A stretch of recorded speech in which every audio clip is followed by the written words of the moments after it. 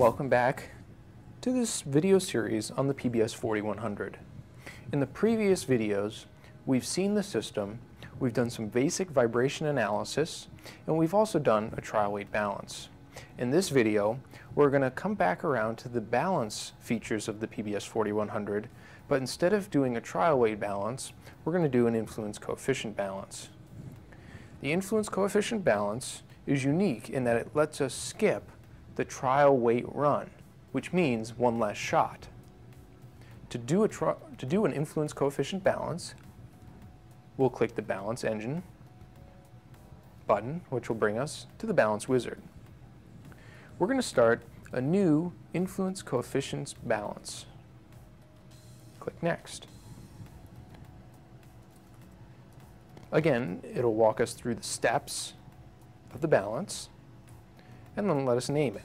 In this case, RotoKit, IC balance, and the date.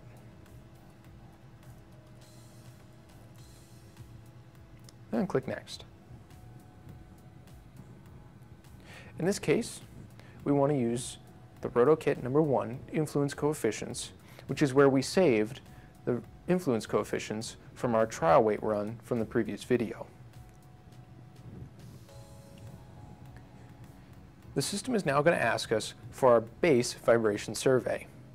In this case, we do have it. It's located right here, 331 2021 baseline acceleration. Just like in the trial weight, the system will automatically pick out our speeds of interest and figure out what the vibration magnitude was at each of those speeds and display them with a red dot. We can click Next which will tell us there's no backing up, and then bring us to define existing weights. If we had existing weights, we could define them here. In this case, there are no existing weights. The system then will skip the trial weight balance procedure and use the influence coefficients we previously derived to calculate a balanced solution. In this case, it wants us to install a class 2 weight at 270 degrees and a class 6 weight at 315 or hole 15. So all we'll have to do is install these weights, which I'll do now. I've now installed our trial weights. We'll click Next, and the system will prompt me multiple times in multiple different formats on what weights to install and in some cases remove. In this case, I've installed the weights and I've confirmed the location of these weights in each of these different formats. It's now asking to do the check run. I haven't done a check run yet with the influence coefficient balance, so I'll click New Survey, and while that's loading, I'll get the engine running. DAU communications will be established by the WinPBS software, and we're ready to go. We'll start the survey.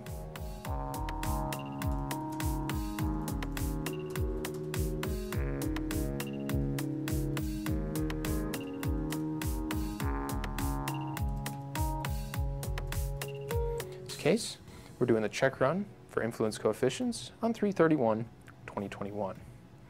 We'll click Begin Survey and accelerate the engine. We'll go to the Vibe versus Speed tab and we'll analyze the results to confirm that we got a good vibration balance solution.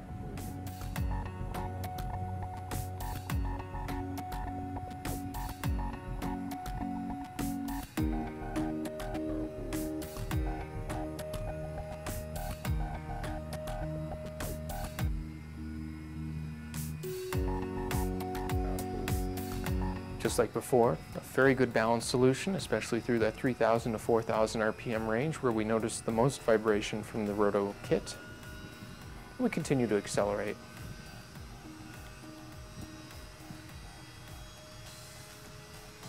And just like the trial weight balance, a slightly higher vibration at the higher RPMs, but certainly well below any limitations.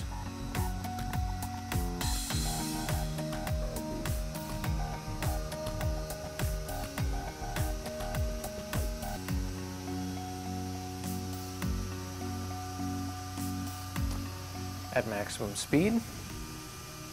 We'll stop the survey. and decelerate the engine.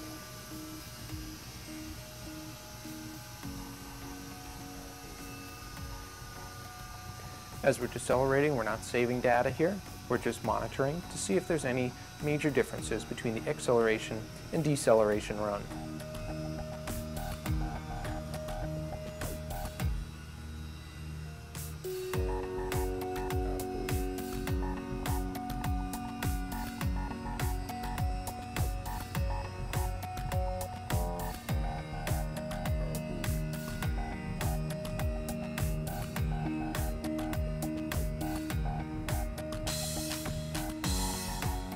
Now that we've monitored the deceleration run, we can return to the balance and use the data we just obtained for our check run. Back in the balance wizard, CRIC 331-2021, we'll click Next. Again, the system will automatically pick out the vibration magnitudes at each speed of interest for us and display them with red dots.